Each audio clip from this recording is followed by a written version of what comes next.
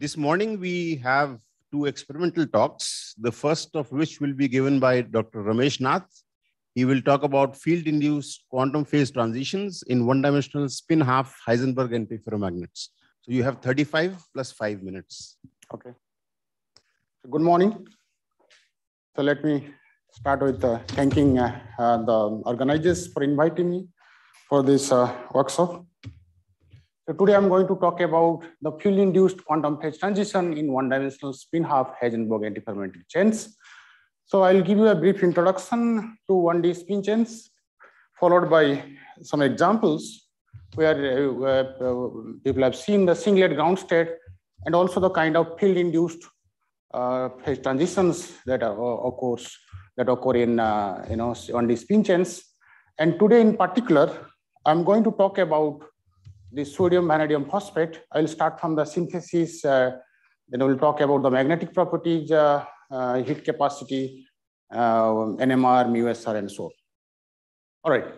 So, um, well, I think all of you know what is a quantum phase transition is.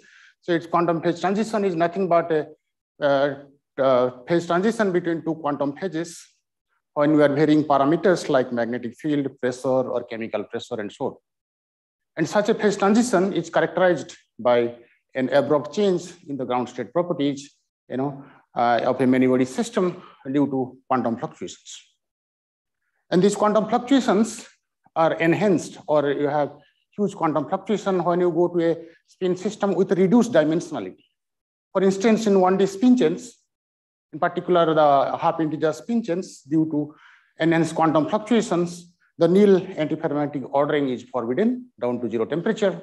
Similarly, um, the integer spin chains, they have a gap in the excitation spectrum called Haldane gap and so on.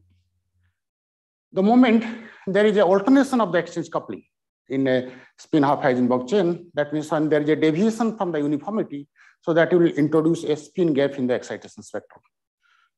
For instance, if you look at alternate spin chain, where actually this uh, interaction along the chain direction are alternating. So there is a small deviation from the uniformity. So that will essentially lead to a singlet ground state due to the spin dimerization. Then you have a singlet ground state, you have triplet excitation.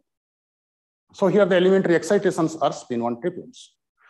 Even the spin ladders, if you look at the spin ladders, so even leg ladders also show a gap in the excitation spectrum. So these uh, spin gap systems are immune to perturbations. Uh, such as uh, interchain coupling.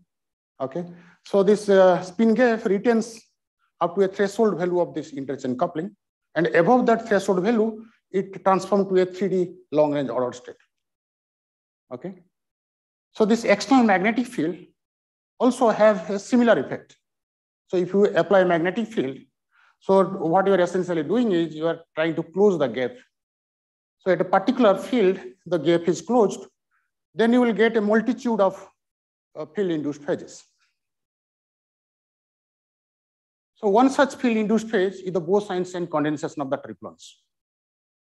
So when you are applying field, you know, at the critical field, uh, one of the split state actually intersect the ground and that triggers a 3D long-range order, antiferromagnetic long-range order, which is of course uh, different from this classical order in many aspects, but it described well as the Bose-Einstein condensation of the triplets. And uh, this BEC phase is typically um, um, observed in uh, interacting dimer systems in three dimension or in two dimension. I mean, where the 3D or the 2D couplings dominate. A interesting a, or a very rich phase diagram has been predicted theoretically. This is the phase diagram. So this phase is this phase occur between two critical fields. This is SC1, that is the critical field of gap closing, and this is SC2, that is the uh, saturation field where you know all the spins get polarized in the direction of the field. So you have a dome-shaped phase diagram, and this is the XY uh, antiferromagnetic BEC phase, as, and you have ferromagnetic phase on the right side and the quantum disordered phase on the left side. So such a phase transition can be characterized, you know, by fitting and this data close to the critical regime to a power law that is Tc uh, equal to a h minus sc1 to the power phi. And this phi, that critical exponent phi, that essentially, you know, uh, reflect the universality class of the uh, phase transition. Uh, there are few systems uh, very well studied in this respect. these are the systems with the, these are the spin gap, these are the spin gap values, the critical fields of gap closing and so on. And these are the phase diagrams that has been studied and so on. As you can see here in all these compounds, the critical fields, especially the saturation field is very high. So hence one requires a very high magnetic field in order to uh, you know, study this complete phase diagram.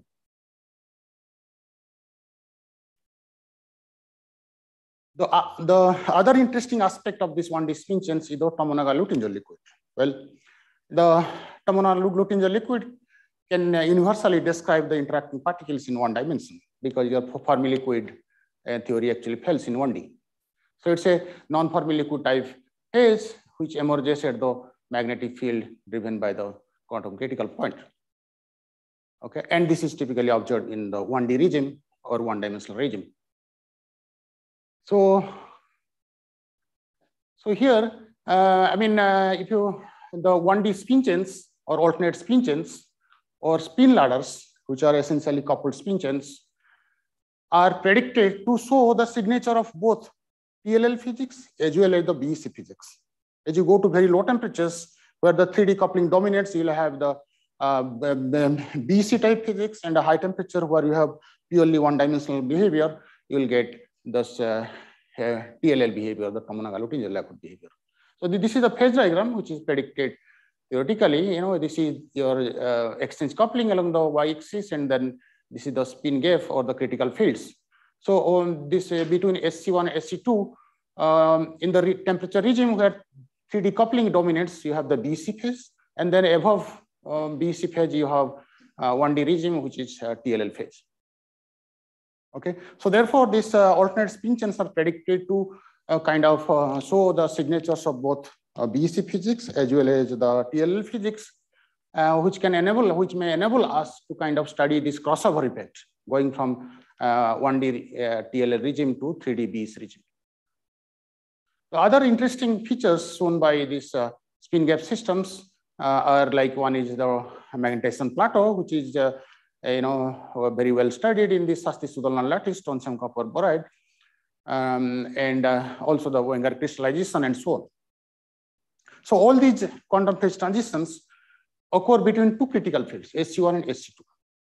So this experimental access to these two critical fields requires appropriate design of materials with appreciably small spin gap and small exchange coupling so that one can explore the complete phase diagram using commonly available magnetic field and also can kind of uh, study all the field induced phenomena.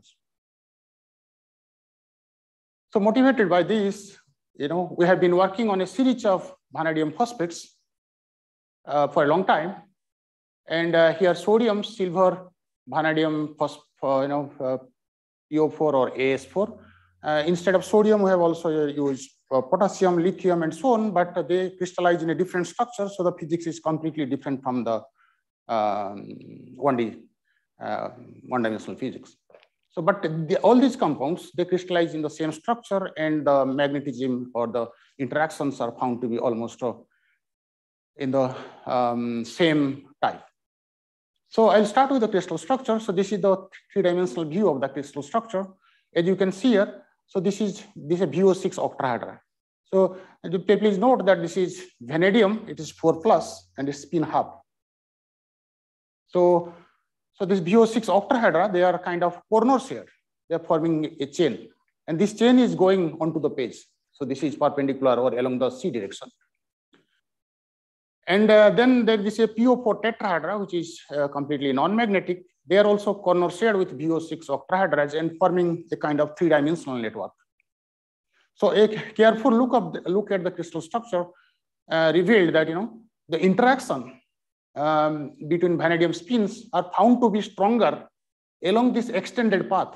This is via PO4 tetrahedron, and they are forming J and J prime. So this J and J prime are alternating along the this direction. Okay, so these are the spin chains which are separated by the uh, dashed lines. And uh, this corner sharing or the direct interaction via oxygen was found to be uh, found to result uh, a weaker interaction. Okay. So this is the skeleton of our spin lattice. So you can see here, this is alternate spin chain. So in one plane, the spin chains are running parallel to each other. And then in the next, next plane, the chains are running perpendicular to each other. So they're making cross chains. And there are also interaction uh, within the chains, you know, that is JA and JC. So we tried to grow single crystals and we failed uh, to grow crystals so far. And, uh, you know, but then we decided to do the experiments on the polycrystalline sample. So, so this is the magnetic susceptibility of the polycrystalline sample. It shows a pronounced broad maximum at around, uh, well, I think 20 Kelvin or so, uh, which is due to the short range ordering due to uh, one dimensionality of the compound. With further decrease in temperature, it shows another broad hump around 4 Kelvin and then decreases, then again increases. So this low temperature increase is likely due to some kind of tiny impurity or could be defects and so on. And to understand the second broad maximum, which is very unusual, we measured magnetic susceptibility at different fields, and we found that this peak is getting broad and broad as we increase the magnetic field, but the position remains same. So it's very unusual. So we don't know yet whether it's intrinsic to the sample or um, is coming due to some impurities. But the sample quality was found to be very good from the powder XRD and other experiments, synchrotron and so on. So um, in order to extract the magnetic parameters, you know, we try to fit. Well, first we estimated the effective moment, which is found to be close to the spin half value. And then we fitted the magnetic susceptibility by this expression, chi equal to chi 0 plus C impurity by T plus chi 1D. So this chi 1D is nothing but your you know, expression for spin susceptibility for a 1D spin half Heisenberg chain or alternate chain, which is valid over a very large temperature range. So it, it was given by Johnston et al. So you can see this solid line, it fits nicely to our experimental data, and especially it reproduced the broad maximum regime, you know, giving a exchange coupling J equal to 36.5 Kelvin and uh, J prime 35.77 Kelvin. So this suggests that you know there is a small alternation of the exchange coupling. So it is deviating slightly from the uniformity, and which results in um, ratio of the exchange couplings or alternation parameter alpha equal to 0.98, which is very close to one, close to a uniform uh, one-dimensional spin chain. So such a alternation, as I have told you in the first slide, this such alternation would lead to a singlet ground state or spin dimerization. So therefore, one should see a, a, a gap ground state. So in such a case, the magnetic susceptibility should exponentially you know, decrease to zero. But unfortunately, due to some impurities or defect, we don't see such a exponential decrease. So instead, we are showing we're getting some upturn. So to prove this uh, spin gap, we measure um, magnetization M versus H at 0.5 Kelvin, okay, at very low temperatures, okay. As you can see here, it shows a broad hump here, and then increases almost linearly at high fields. So this broad hump is likely due to this uh, impurities or defects. Now to subtract this contribution of the defects, we fitted it to a Brillouin function. This is the red line, and then subtracted from the raw data. And then you can see here, this is the corrected magnetization. So magnetization remains zero up to almost uh, 1.2 Tesla or 1.6 Tesla and then increases linearly. So this is a clear signature that you know we have a singlet ground state where the magnetization is zero and the gap is closed at uh, 1.6 Tesla. Okay, and this 1.6 Tesla critical field SC1, it actually corresponds to a spin gap of 2 Kelvin. Okay, which is a very tiny spin gap between the singlet and your triplet excited states. Um, but here, here you can uh, see here that our me measurements are limited up to 7 Tesla in SQUID, but therefore we didn't get the saturation. So therefore we decided to use the magnetization using high field in pulse magnetic field up to 60 Tesla, but at 1.5 Kelvin above the spin gap. So it increases linearly, then shows a pronounced curvature, and then shows the tendency of saturation at around 57 Tesla. Well, I think uh, this I have normalized to one. Actually, we scaled this data and we found that this is going to one mu b, which is expected for a spin half. So this second critical field uh, is 57 Tesla. And assuming that it's a 1D spin chain compound, the exchange coupling J by kB is calculated to be 37.3 Kelvin, which is in very good agreement with the one ex, uh, extracted from the magnetic susceptibility. Okay. We also measure heat capacity. And uh, this, uh, well, uh, this, this heat capacity analysis is a bit tricky because, you know, we didn't have a non-magnetic analog in order to uh, subtract the phonon contribution. But nevertheless, we try to do some analysis using um, various models. So this is the raw data, the heat capacity. You know, at the high temperature, it's dominated by the phonons. At low temperature, you have some, you know, uh, broad maximum type, weak but broad maximum here. That's due to their strong magnetic correlations. Then we fitted it to a sum of Debye model at high temperatures and subtracted the phonon contribution. And then this is the your magnetic part, magnetic part of the heat capacity. So at the bottom panel, we have plotted Cmag, that is the magnetic part of the heat capacity divided by temperature as a function of temperature.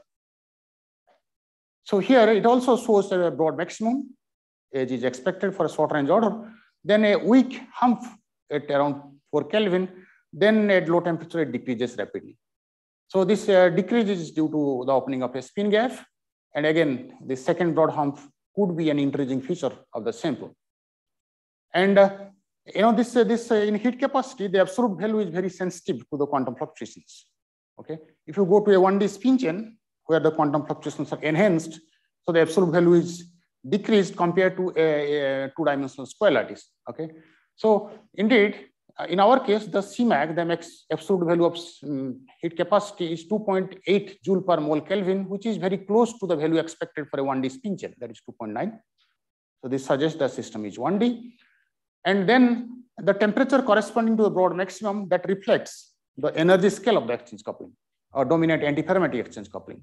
So now from the uh, T uh, temperature corresponding to broad maximum, the leading exchange coupling is calculated to be 41 Kelvin, which is again consistent with our analysis or the assessment based on the magnetization, the magnetic susceptibility and magnetization. Well, now here I have summarized all the three compounds of this series. You know, they are exchange couplings and alternation parameter. They are zero spill, zero uh, mm, spin gap at zero field, and the corresponding critical field of gap closing. Clearly, the sodium vanadium phosphate is the one which has a uh, weak alternation of the exchange coupling and uh, tiny um, spin gap with a small critical field.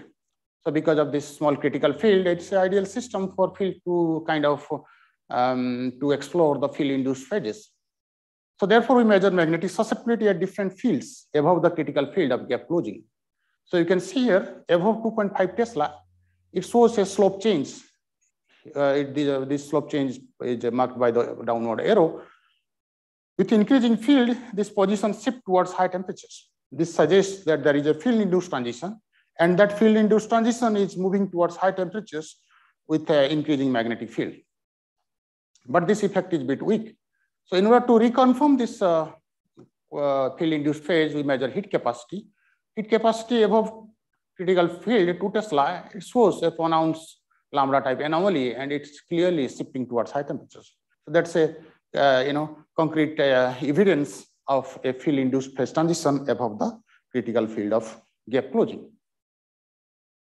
We also did the band structure calculation in order to confirm the reliability or let's say the, um, uh, the exchange couplings, also the interchain couplings, which you could not estimate from our experiment and so on. And uh, these values apparently, you know, uh, found to be very consistent with our experiment. But there are still certain questions that uh, we are yet to, we are puzzled and uh, so on. One is uh, the analysis of KIT data is hampered due to the extrinsic contribution we didn't see a direct, uh, direct uh, you know, spin gap from the magnetic susceptibility where it is expected to decrease exponentially. Second one is the uh, in hump in both heat capacity and uh, magnetic susceptibility at 4K. We don't know whether it is intrinsic to the sample. And uh, we also have uh, evidence from the bulk measurement that say there is a field induced long range order, but it's always better to confirm using complementary experiments. So therefore, we decided to uh, um, go for the phosphorus NMR in order to address some of these issues. So um, I um, probably don't need to go uh, in detail about the introduction to phosphorus NMR because we already had several talks by eminent people um, in the field of NMR. So, but I want to highlight here that, that what is the advantage of NMR in studying the spin system? Well, uh, the NMR actually, it measures both static uh, properties, static susceptibility, as well as the dynamic susceptibility.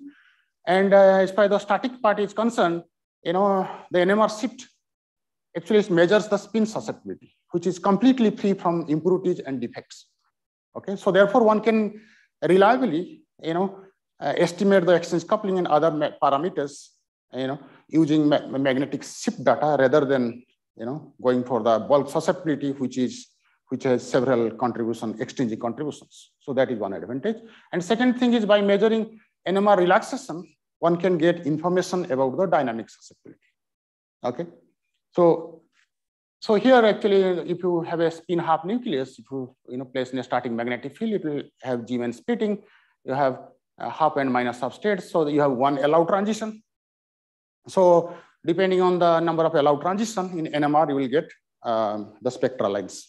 Okay. If it is a quadrupole nucleus, then you will have a central transition and central peak, then uh, satellite peaks corresponding to the other uh, A transitions. So, uh, so here we did phosphorus NMR, which is a spin half nucleus. So we have only one allowed transition. Hence, uh, it is expected that uh, the spectra should be a single spectral line, the NMR spectra. So indeed, we have a single spectral line. Uh, of course, it is broad because of powder sample and it's magnetic. So you have one single spectral line and with decreasing temperature, this uh, peak position, the resonance position of the sample shifts with temperature. It goes and then comes back. So this, uh, this vertical line, this is the um, resonance field of a non-magnetic reference sample, okay, which would, which would not shift with temperature. Okay, so this shift of this peak position with respect to this non-magnetic reference that is that gives you the NMR shift. Okay, so here we have plotted this NMR shift measured at two different fields as a function of temperature and which is a direct measure of the spin susceptibility, and it's free from any impurities and defects. So it shows a pronounced broad maximum like susceptibility, indicative of your short range order. Then again, it also shows a weak hump here, okay, at around 4 Kelvin, suggesting that it could be intrinsic to the sample. It's not, um, it's not an extrinsic effect.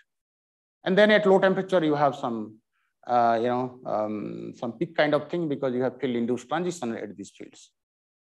Okay. So, um, so since NMR shift is a direct measure of the spin susceptibility, one can write NMR shift K. It's actually directly in terms of chi spin. This is the spin susceptibility. And A is the proportionality constant. And this A is nothing but your hyperfine coupling of the phosphorus nucleus with the electronic spins okay? Because we are sitting at the phosphorus side and probing uh, the spin side. So this A is uh, the coupling of hyperfine coupling of the phosphorus nucleus with the uh, electro vanadium spins. So therefore, and K is your chemical shift. So if you plot K versus chi with temperature as an implicit parameter, then the slope of your linear fit will give you A. So here in the inset, we have plotted K versus chi and you can see it's a nice straight line. And this linear fit gives you gives us a hyperfine coupling of 6873 Oersted per mu. That's the coupling strength of phosphorus with the vanadium spin. So now, as I said that, you know, one can uh, get more reliable information, uh, you know, doing uh, NMR shift analysis, and then your bulk measurement, bulk susceptibility measurement. So therefore, we fitted this expression taking chi-spin for a alternate spin chain model, uh, you know, given by Johnston et al. And then we fitted this expression to our data. This solid line is the fit. It very nicely reproduces the shape of this curve and also the broad maximum region, suggesting that it's a alternate spin chain compound. And the parameters were obtained to be this leading exchange coupling is found to be 39 Kelvin and alternation parameter alpha is found to be 0.98, which is very which is in very good agreement with the value that we extracted from the magnetic susceptibility analysis. And here the G value uh, was fixed to 1.95. This was obtained from the uh, ESR experiments. So now this alternation parameter will give you the uh, give you the uh, or quantitatively to give you the uh, in uh, this thing um, your spin gap in zero field. So this is the expression delta zero equal to this you know and so that results in zero field spin gap of 2.37 Kelvin, which is slightly higher than the value we got from the magnetization analysis because this this formula apparently um, overestimates the spin gap value because it doesn't take into account the interchain coupling. Okay, so so this is confirmed that uh, you know it's alternate spin chain compound with a tiny spin gap, and uh, as I said that NMR spin lattice relaxation time it's a measure of the dynamic dynamic susceptibility. on our T1 uh, can be written like this, where is chi double prime is the imaginary part of the dynamic susceptibility, and here AQ is the um, um, I mean, hyperfine tensor.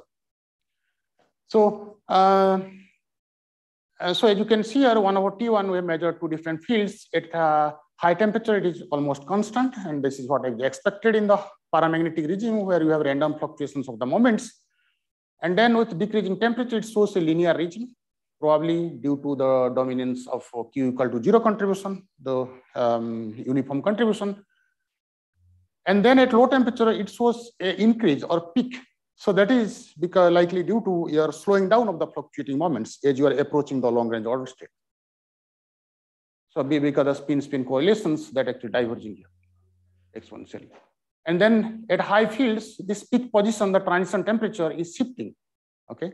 And that is very good. Eh, that's, eh, that's actually eh, in uh, very much, very, very good agreement with our uh, magnetic susceptibility and heat capacity measurements that we have a field induced magnetic long range order. Okay.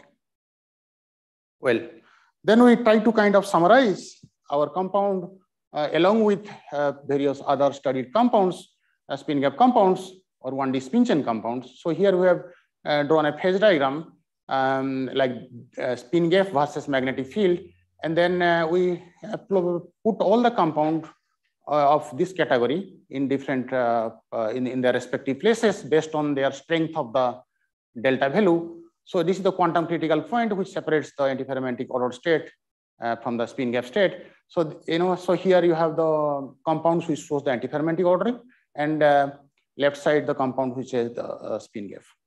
So clearly, our compound lies very close to the quantum critical point. So because of this, it's a tiny spin gap, and its proximate to proximity to the quantum critical point. So this is an ideal system to explore the field-induced phenomena. So here we have drawn the phase diagram based on our experimental results. So this is the transition temperature and versus magnetic field. And this is the TN values we got from heat capacity, magnetic, magnetic susceptibility, magnetization, and uh, NMR uh, uh, spin lattice relaxation time. So it, it traces a dome phase diagram typically expected for the um, Bose-Einstein condensation phase. Okay, so this is the 3D XY phase. So as I had told you previously that see to characterize such a phase, we need to fit the power law to the data point in the in close to the critical point and find the exponent phi. We fitted here the critical regime, we took as t less than 0.4 times Tn maximum. This is the Tn maximum here. Okay, so we try to fit as, you know as close as possible to the kind of uh, to HC1. So um, we found that the phi is close to 1.8. So theoretically, it is already reported that uh, for a BM BC phase in 3D, the phi is close to 1.5, that is 3 by 2. And these are the compound which have been kind of, this number is verified. Even for the 2D system, that means the coupled spin dimers in two dimension that gives the phi value of one. So our value of 1.8 is very close to the 3D uh, or the value expected for a BEC page in three dimension. Okay. How much time I am left with? 10 minutes? Okay. Okay. So now the, the other uh, interesting aspect of this uh, 1D uh, this thing is this Tomonaga, the concept of Tomonaga Luttinger uh, liquid, you know, or the framework of uh, TLL um, uh, physics can describe the interacting particles or give universal description to the interacting particles in 1D, right? So now next we thought of kind of exploring this part and to see whether we have any signature of this TLL physics. So this is the critical field of magnetization, you know, SC1 and this is SC2. So the first thing that what we did is we plotted the derivative of dm by dh as a function of h. So it shows two rounded maximums at the critical field. So this is the first signature that we have uh, a regime where we can see the field induced phases and, uh, and these two critical fields uh, essentially uh, suggest uh, the transformation into and out of this TLL regime. If you measure such a, you know, M versus H at very high temperatures and plot dm by dh versus h, it will always give you one rounded maximum. Okay. So this is first indication of this TLL regime. The other you know, striking feature that we see is in the heat capacity. So this is the magnetic part of the heat capacity as a function of temperature. Uh, so in the gapless regime that is above your Tn, this is the 1D regime. So you have a linear uh, temperature regime, you know, and uh, very interestingly, this regime the heat capacity is field independent. You can see 3 Tesla to 14 Tesla is all field independent. So that's a robust signature of the TLL physics, okay, or TLL regime, okay.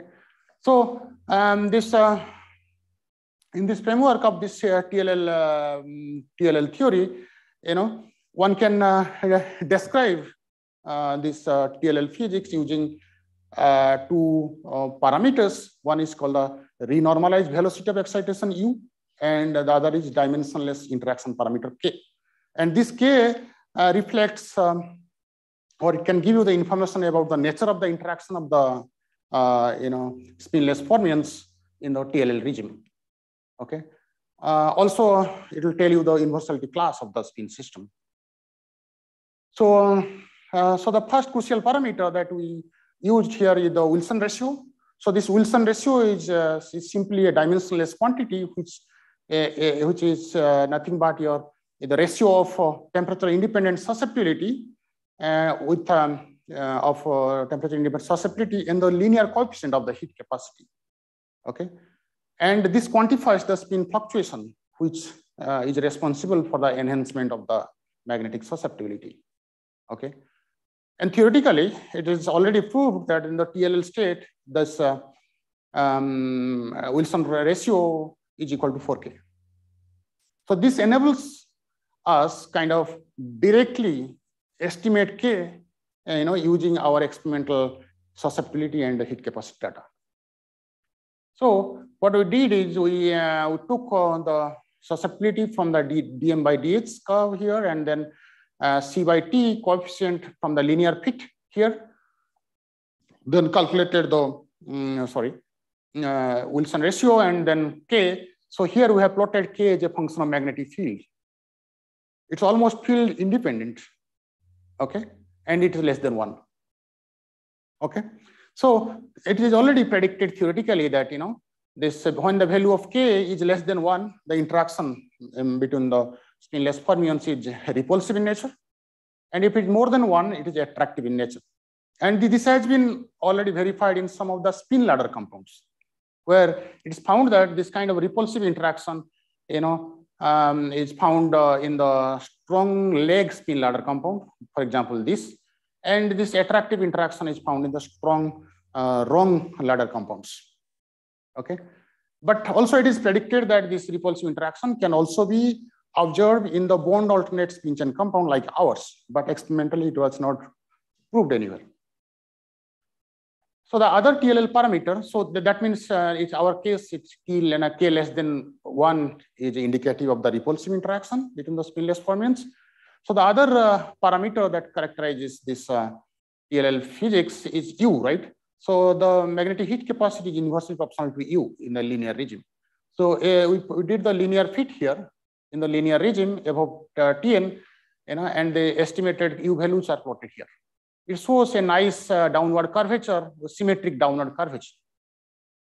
So to kind of uh, uh to cross-check the reliability of our estimation and the choice of these critical regions, that is from 2Tn to 3Tn, what we did is we scaled our data with respect to this, uh, you know, fitted parameters here and plotted as a function of temperature. As you can see here, they all the data sets collapse on a single bend, on single line. This, this is a, uh, you know, very robust uh, uh, signature of, uh, uh, of the, the, or the indication of the reliability of the estimation of U. Though we don't have a direct way to compare our experiment, five minutes? Okay. So though we don't have a direct way to compare our experimental uh, parameters, you know, but what I've seen is when people do all the DMRG calculation, uh, density matrix normalization calculation for U and K and compare. Unfortunately, we have not done that yet.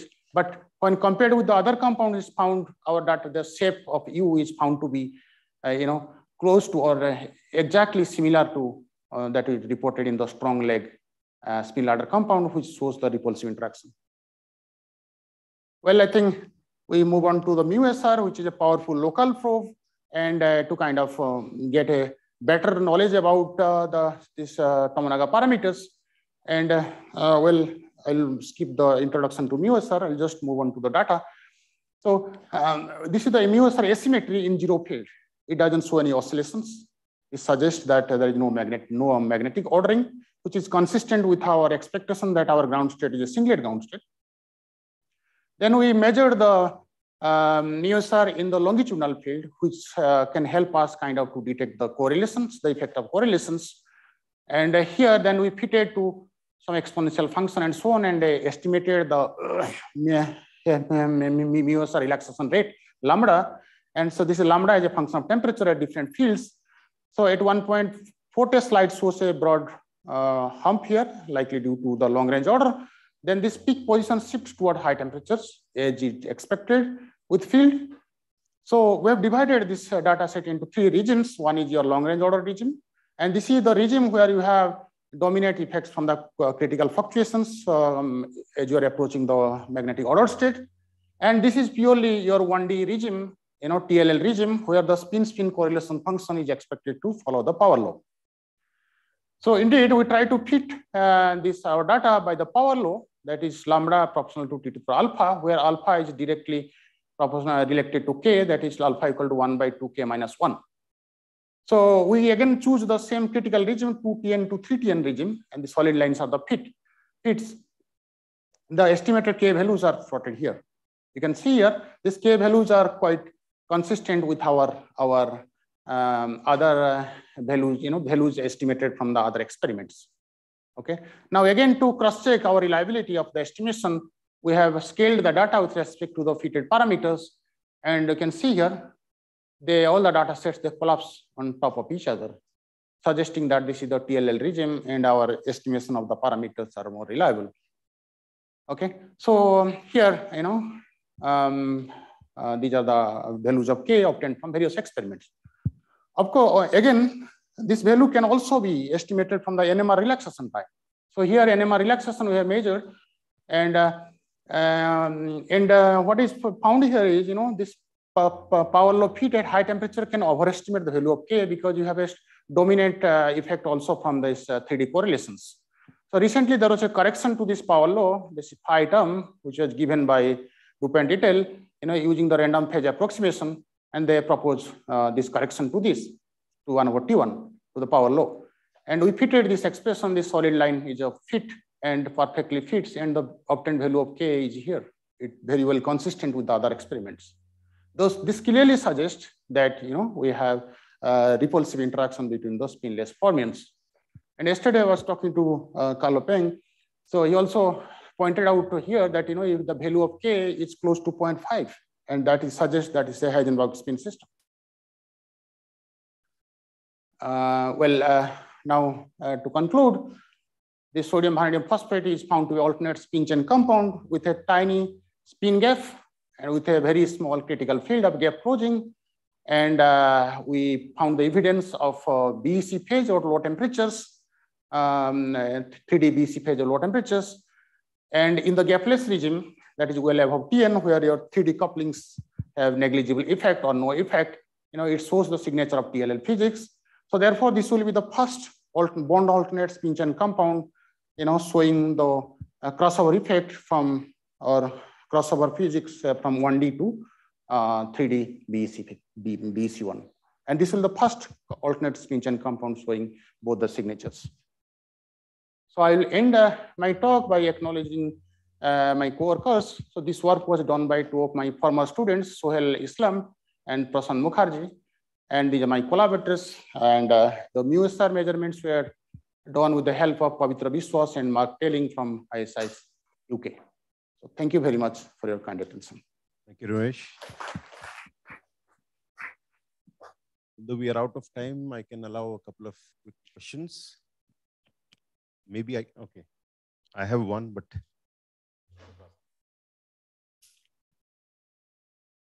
Thank you, Ramesh. You have given a lot of job homework for theorists, many things to be thought about.